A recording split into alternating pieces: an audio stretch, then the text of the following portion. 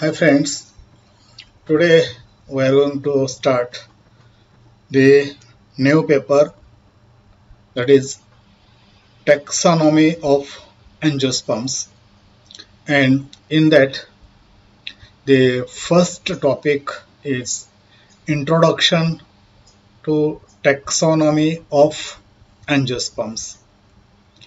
So as for the syllabus we have to see the introduction, aims and principles of taxonomy. So as far as the introduction is concerned, the taxonomy word is derived by Greek word taxus means arrangement and nomos means law or a rule. Meaning thereby lawful arrangement or arrangement by a rule.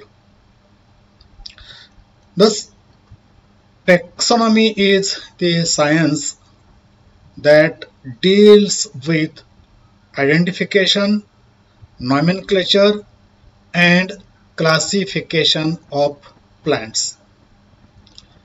The classification in taxonomy is based on morphological characters. That means the characters which are easily observable without any dissection. So, including such similarities and differences in plants at cellular as well as molecular level. Taxonomy is also called as systematic botany. According to modern trends of taxonomy, it was accepted that morphological characters are not much more enough in systematic classification of plants. Means whatever the easily observable external characters which are called as morphological characters and these morphological characters are not much more sufficient to classify the plants to made a classification for a categorization. And that's why other than the morphological characters other disciplines other characters other parameters should be taken into the considerations. And what are those disciplines? That is the cytology where the study of cell structure is done physiology, the metabolic activities or the physiological activities are studied. That branch is the physiology. Genetics, where the gene study or genetic makeup is taken into the consideration, as well as the anatomy, means internal study, internal structure of the plant organs are also taken into the considerations geographic conditions, the ecology, means whatever the other parameters of ecology that is also taken into consideration as well as embryology, palynology, biochemistry, phenology and numerical exothermic characters are also taken into consideration while classifying the plants. Now, term taxon indicates a taxonomic group like variety, species, genus or any higher group. Now, next subunit that is aims and principle of taxonomy. Here, the particular aims of that taxonomy. The aim of taxonomy includes identification, nomenclature, and classification are included in terms of taxonomy. There are main two approaches of this science. One is say empirical approach and other one is interpretative approach. In empirical approach, it is based on practical experience, observations of facts and characters which leads to construction of classification. Means whatever the practically experienced actual facts that are taken into the considerations in this empirical approach. This type of approach was developed during pre-Darwinian period. And second approach that is interpretative approach. In this approach, the classification is constructed based on evolutionary characters and this is called phylogenetic classification. in this case, the evolutionary characters are taken into the consideration when the plant was evolved on the earth, which is which plant is the primitive, which plant is the advanced, and that things are taken into the considerations and this is called phylogenetic classification which is developed during post-Darwinian period. So that is regarding the two approaches of taxonomy. Now particularly about the aims of taxonomy, the very first and uh, one of the important aim of the taxonomy is to provide a convenient method of classification, identification and communication. Second one, to provide classification which is based on natural affinities of species. What are the resemblances in between plant group by observing, by studying that affinities, one has to provide or the branch has to provide the classification system. Next, uh, to provide a list of plant by means of flora. Here, the study of plants is comes under the flora and the study of animals comes under the fauna. In zoology, this one is called as fauna. Means study of animals. So in the flora, there is a listing of all the plants belonging that particular area and such list has to made by this branch. Next one to provide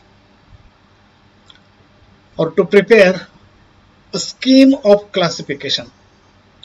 Now this classification is very much important phenomenon in the taxonomy and to identify very neatly, very easily, there should be classification keys and that keys play important role in exactly identifying the plant specimens and that keys are prepared by the taxonomy. Then to train the students of botany, now the future scientists of botany are the students and they should be familiar with this classification, these keys and that's why this training is get provided by this branch. Next to arrange the plants in order to their evolution. So these evolutionary things are also taken into the consideration during the taxonomy and that is one of the important aim. To give information to other branches. There are so many other branches and they are directly or indirectly depend upon this taxonomy of angiosperms and that's why it is a prime duty of this branch that is give information percolate informations make available informations to other branches next one to revise many plant groups in the light of new discoveries and techniques. The research is going on and in the course of development of new research whatever the revision it has to done and the whatever the newly added plants newly discoveries regarding the plants by using a newly techniques this uh, branch has to give such information then integrated database including all the species of plants across the world. So whatever the informations which is stored, which is collected, so it is a database and this database, these informations from the width and length of world has to be collected and make ready for other branches. To provide and informations regarding references then supplying the methodology for information storage then retrieval or exchange and utilization etc so all these informations has to provide by this branch to concerned branches to know various kinds of plants on the earth with respect to their names, affinities and diversities among themselves. Then geographical distributions, habit, habitat and importance. So all these informations has to be stored, has to be collected and make ready for further use. Next one to give correct description of plants with scientific language by using a technical terms.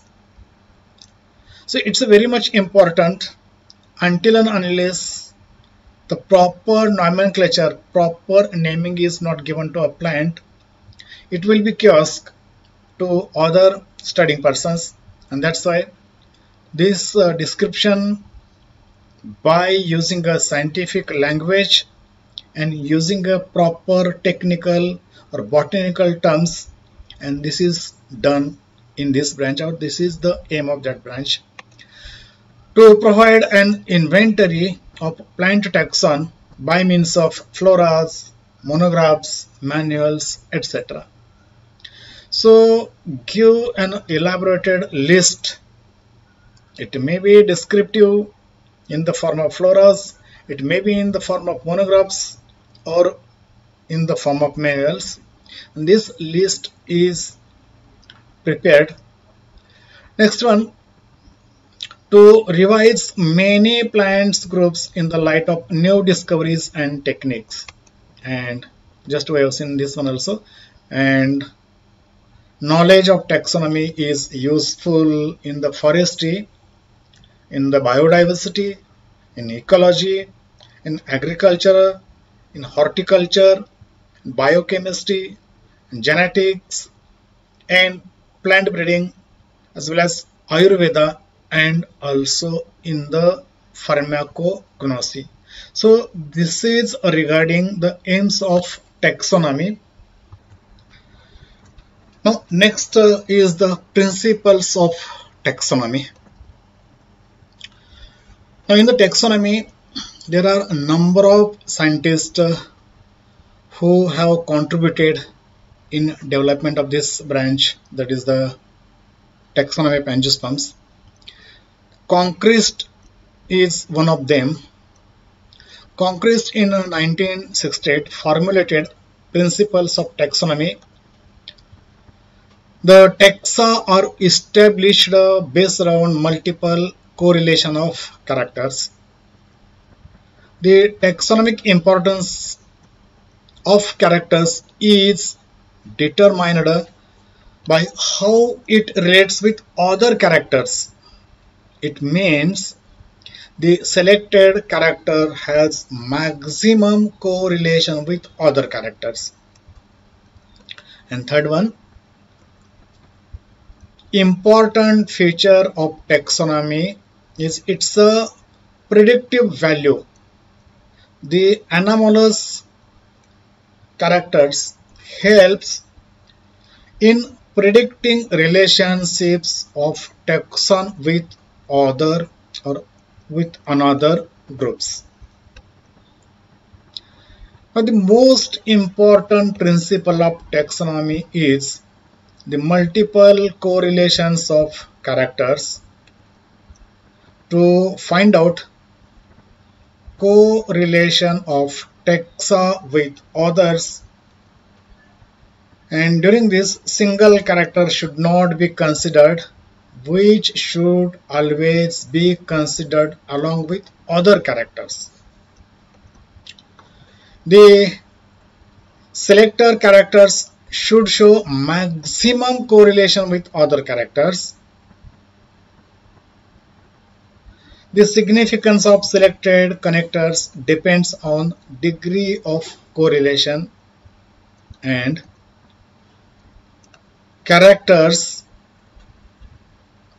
with no distinct correlation with other characters are often accepted as an anomalous one and usually it is not important from the taxonomic point of view. So these are a few principles regarding the taxonomy angiosperms. So this is what for the today's lecture that is introduction to taxonomy of angiosperms